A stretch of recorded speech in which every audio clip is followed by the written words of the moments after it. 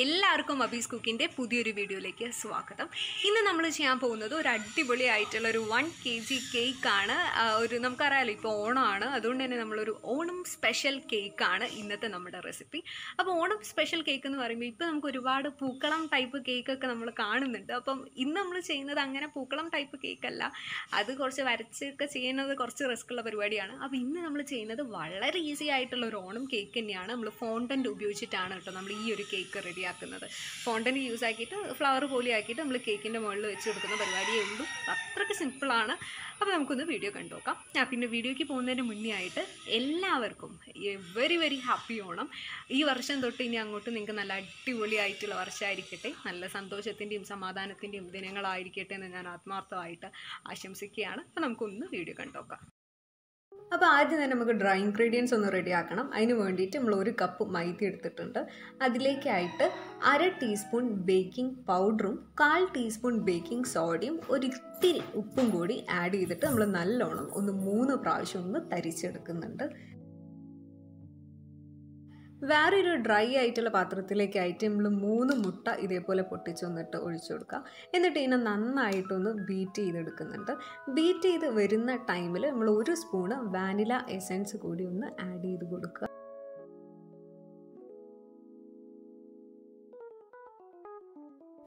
ഇതിലേക്കായിട്ട് നമ്മളൊരു അര കപ്പ് പൊടിച്ച പഞ്ചസാര ഒന്ന് ചേർത്ത് കൊടുത്തിട്ട് നന്നായിട്ടൊന്ന് ബീറ്റ് ചെയ്തെടുക്കാം.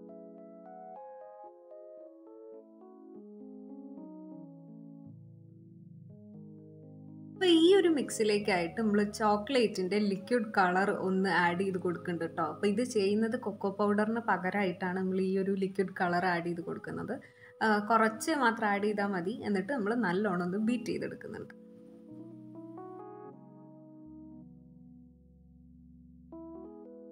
ഇനി ഇതിലേക്കായിട്ട് നമ്മൾ ഡ്രൈ ഇൻഗ്രീഡിയൻസ് ഒന്ന് ആഡ് ചെയ്ത് കൊടുക്കുന്നുണ്ട്. നമ്മൾ കംപ്ലീറ്റ് ആഡ് ചെയ്യുന്നില്ല. കുറച്ച് കുറച്ചായിട്ട് ആഡ് ചെയ്തിട്ട് നന്നായിട്ട് ഇതേപോലെ ഒന്ന് മിക്സ് ചെയ്തെടുക്കുക. ഇതിലേക്കായിട്ട് നമ്മളൊരു കാൽ കപ്പ് പാലും കാൽ കപ്പ് ഓയിലും കൂടി ഒന്ന് ചേർത്ത് കൊടുത്തിട്ട് നന്നായിട്ടൊന്ന് മിക്സ് ചെയ്തെടുക്കാം.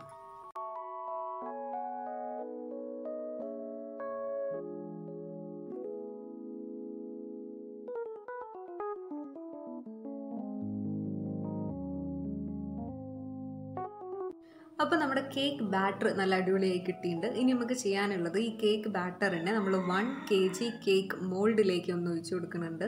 അപ്പോൾ മോൾഡിന്റെ താഴെയായിട്ട് നമ്മൾ ബട്ടർ പേപ്പറും പിന്നെ സൈഡിലൊക്കെ ആയിട്ട് ഓയിലൊന്ന് നല്ലോണം പുരട്ടി കൊടുത്തിട്ടുണ്ട് കേട്ടോ അപ്പോൾ കേക്ക് നമ്മൾ ചെയ്തെടുക്കുന്നത് പ്രഷർ കുക്കറിലാണ് മുപ്പത് മിനിറ്റ് കൊണ്ട് ലോ ഫ്ലെയിമിലിട്ടിട്ടാണ് ചെയ്യുന്നത്. അപ്പോൾ ആ ഒരു ടൈം കൊണ്ട് നമുക്ക് വിപ്പിംഗ് ക്രീം നന്നായിട്ടൊന്ന് ബീറ്റ് ചെയ്തെടുക്കാനുണ്ട്. അപ്പോൾ അതിന് വേണ്ടിയിട്ട് ഞാനിവിടെ ഒരു കപ്പ് വിപ്പിംഗ് ക്രീം നമ്മുടെ ഡ്രൈ ആയിട്ടുള്ളൊരു പാത്രത്തിലേക്ക് ഒഴിച്ചു കൊടുക്കുന്നുണ്ട്. അപ്പോൾ നമ്മുടെ വിപ്പിംഗ് ക്രീം ഇപ്പോൾ നന്നായിട്ട് ബീറ്റ് ചെയ്തുകൊണ്ട് നിൽക്കുകയാണ്. അപ്പോൾ ഇതിലേക്കായിട്ട് ഒരു കപ്പ് നല്ല പൊടിച്ച പഞ്ചസാര കൂടി ഒന്ന് ചേർത്ത് കൊടുത്തിട്ട് പിന്നെ നല്ലോണം ഒന്ന് ബീറ്റ് ചെയ്തെടുക്കുക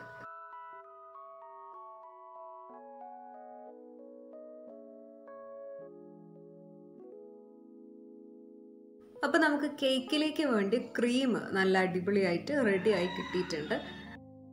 അപ്പോൾ അങ്ങനെ അരമണിക്കൂർ കഴിഞ്ഞിട്ട് നമ്മുടെ കേക്ക് പുറത്തേക്ക് എടുത്തിട്ടുണ്ട്. കേക്കും അത്യാവശ്യം നല്ലോണം നമുക്ക് റെഡിയായി കിട്ടിയിട്ടുണ്ട്. അപ്പോൾ ഇനി നമുക്ക് കേക്കിനെ ഒന്ന് അൺമോൾഡ് ചെയ്തെടുക്കണം. അപ്പോൾ അതിന്റെ പരിപാടിയാണ് കേട്ടോ ഇനി നമ്മൾ ചെയ്യുന്നത്. അപ്പോൾ നമ്മുടെ കേക്കിന്റെ താഴെയായിട്ടുള്ള ബട്ടർ പേപ്പർ ഉണ്ടേന് അത് നമ്മൾ ഒഴിവാക്കി കൊടുക്കുക പിന്നെ പറയുന്നത് ഈ ഒരു കേക്കിന് നമ്മൾ രണ്ട് ഭാഗമായിട്ടാണ് കേട്ടോ കട്ട് ചെയ്യണത്. ഇതിന് മൂന്നാക്കാൻ മാത്രമുള്ള വലുപ്പം നമുക്ക് ഇല്ല. അതുകൊണ്ട് തന്നെ നമ്മൾ രണ്ട് ഭാഗമായിട്ടാണ് കട്ട് ചെയ്യുന്നത്. കുഞ്ഞു കേക്കാണ്. അപ്പോൾ ആദ്യം തന്നെ നമ്മൾ കേക്ക് ബോർഡിന്റെ താഴെയായിട്ട് കുറച്ച് എമൗണ്ട് ക്രീം ഒന്ന് വെച്ച് കൊടുത്ത് അതിന്റെ മുകളിലായിട്ട് നമ്മളുടെ കേക്കിന്റെ ഒരു ലെയർ ഒന്ന് നമ്മൾ വെച്ച് കൊടുത്തിട്ടുണ്ട്. അപ്പോൾ ഇനി അടുത്ത പണി എന്ന് പറയുന്നത് നമ്മൾ കംപ്ലീറ്റ് ആയിട്ട് മിൽക്ക് സിറപ്പ് ഒന്ന് സ്പ്രെഡ് ചെയ്ത് കൊടുക്കുകയാണ് അപ്പോൾ മിൽക്ക് സിറപ്പ് എങ്ങനെ ഉണ്ടാക്കിയെന്ന് പറയുകയാണെങ്കിൽ നമ്മളുടെ കാൽ കപ്പ് പാലിൽ കാൽ കപ്പ് പഞ്ചസാര എന്ന് പറഞ്ഞ രീതിയിലാണ് നമ്മൾ ഈ പറയുന്ന മിൽക്ക് സിറപ്പ് റെഡിയാക്കി എടുത്തിട്ടുള്ളത്. അപ്പം ഇങ്ങനെ സിറപ്പ് കംപ്ലീറ്റ് ആയിട്ട് ഒന്ന് കേക്കിന് ചുറ്റും ഒന്ന് ആക്കി കൊടുക്കുക. ചുറ്റും നടുവിലൊക്കെ ആയിട്ട് നമുക്ക് സ്പ്രെഡ് ചെയ്യാം. നമ്മൾ കേക്ക് നല്ല സോഫ്റ്റായി കിട്ടാൻ വേണ്ടിയിട്ടാണ് നമ്മളിങ്ങനെ ചെയ്യുന്നത്. അപ്പോൾ അതിന്റെ മുകളിലായിട്ട് നമ്മൾ നേരത്തെ റെഡിയാക്കി വെച്ച നമ്മളുടെ വിപ്ഡ് ക്രീം ഒന്ന് സ്പ്രെഡാക്കി കൊടുക്കാം.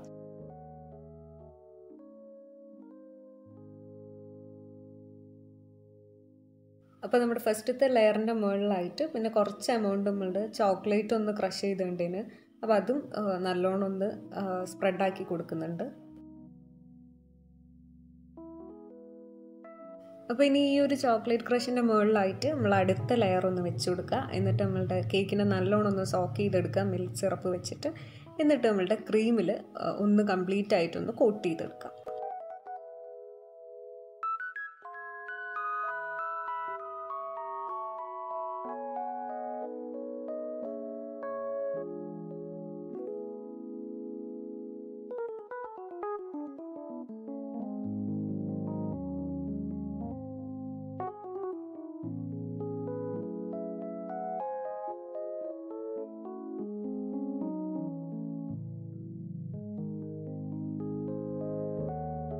അപ്പോൾ അങ്ങനെ നമ്മളുടെ കേക്കിന്റെ മേലെ നല്ലോണം ക്രീമൊക്കെ തേച്ചിട്ട് കേക്കിനെ ഒന്ന് സെറ്റ് ചെയ്തെടുത്തിട്ടുണ്ട്. അപ്പോൾ ഇനി അടുത്തതാണ് നമ്മളുടെ മെയിൻ പണി. നമ്മൾ കുറച്ച് ഇവിടെ ഫോണ്ടന്റ് യൂസ് ആക്കിയിട്ട് കുറച്ച് ഇതുപോലെയുള്ള പൂക്കളാക്കി വെച്ചിട്ടുണ്ട്. അപ്പോൾ ഓണല്ലേ? അപ്പോൾ പൂവ് നിർബന്ധമല്ലേ അപ്പോൾ അതുകൊണ്ടാണ് ഇങ്ങനത്തെ പൂവ് ഉണ്ടാക്കിയത് മറ്റേ വരച്ചിട്ടുള്ള പൂവൊക്കെ അത് കുറച്ച് ടാസ്ക്കാണ് അപ്പോൾ നമ്മളുടെ ഇങ്ങനത്തെ പൂ വെച്ചിട്ട് നമ്മൾ ഇപ്രാവശ്യം അഡ്ജസ്റ്റ് ആക്കുകയാണ് കേട്ടോ അപ്പോൾ നമ്മളുടെ കേക്കിന്റെ മേലെ ഇതുപോലെ നമ്മളൊന്ന് ഡെക്കറേറ്റ് ചെയ്തെടുക്കുന്നുണ്ട്.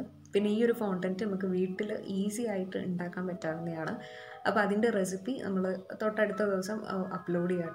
പിന്നെ ഇപ്പം നമ്മൾ ചെയ്തുകൊണ്ടിരിക്കുന്ന കേക്കിന്റെ ബേസിലായിട്ട് ടു ഡി നോസിൽസ് യൂസ് ആക്കിയിട്ട് നമ്മൾ ചെറുതായിട്ട് ഇതേപോലെ ഒന്ന് ഫ്ലവേഴ്സ് വരച്ചു കൊടുക്കുന്നുണ്ട്.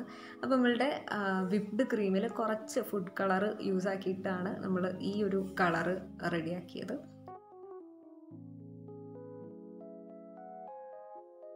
അങ്ങനെ അപ്പണിയും കഴിഞ്ഞാൽ നമ്മളിനി ചെയ്യുന്നത് കേക്കിന്റെ മുകളിലായിട്ട് ഇതേപോലെ ചോക്ലേറ്റ് കുറച്ച് ഗ്രേറ്റ് ചെയ്തുകൊണ്ടേന് അത് ഈ നമ്മുടെ ഫ്ലവേഴ്സ് വെച്ചതിന്റെ തൊട്ടടുത്ത അപ്പുറത്തെ പോർഷനിലായിട്ട് ഒന്ന് ഇതേപോലെ ഒന്ന് ഫില്ല് ചെയ്ത് കൊടുക്കുകയാണ്.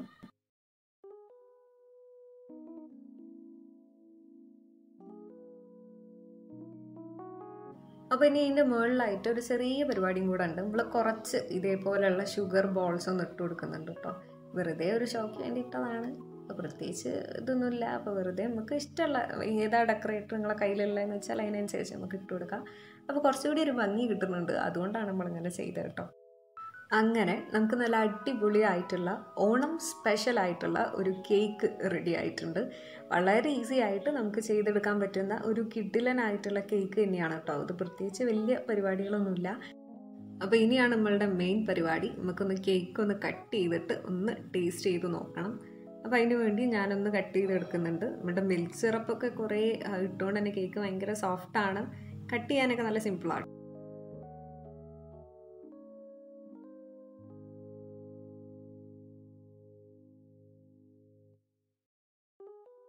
അപ്പോൾ നമ്മളുടെ കേക്ക് ഒന്ന് കഴിച്ചു നോക്കാനായിട്ട് കുഞ്ഞിയാണ് കേട്ടോ ഉള്ളത്.